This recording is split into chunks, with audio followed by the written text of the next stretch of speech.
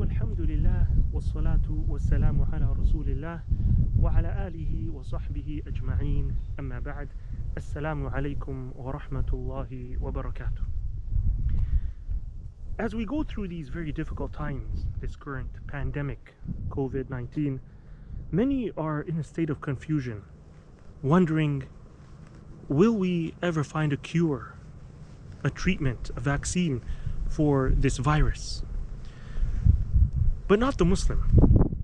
Because the Muslim, through his Iman in what the Prophet ﷺ has informed us, he knows with certainty that not only will this crisis soon come to an end, because Allah says, إِنَّ مَعَ الْعُسْرِ يُسْرًا إِنَّ مَعَ الْعُسْرِ يُسْرًا With every difficulty, there comes ease. So not only that, but also the Muslim, he knows with full certainty that not only will we find a cure, but that the cure, it already exists. And that's not because the Muslim is in an expert or a medical professional where you know he has researched it and he knows that there's a cure out there. No, but because he believes in what the Prophet ﷺ said when he said that there is no disease, there is no disease that Allah sends except that Allah subhanahu wa ta'ala has also sent the cure for it. Yes, non-Muslim researchers, they may search for the cure and the treatment and they may not lose hope either.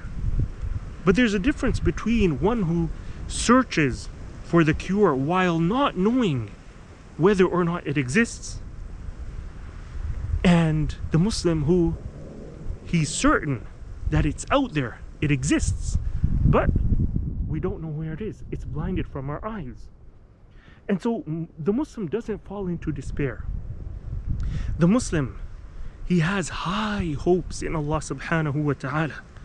No matter how great the catastrophe is, he remains positive and optimistic and has high hopes in Allah subhanahu wa ta'ala that Allah will soon bring this to an end and will help us to find the cure and the vaccine for this virus because we believe Allah subhanahu wa ta'ala is the most kind and the most compassionate Allahu latifun bi'ibadih.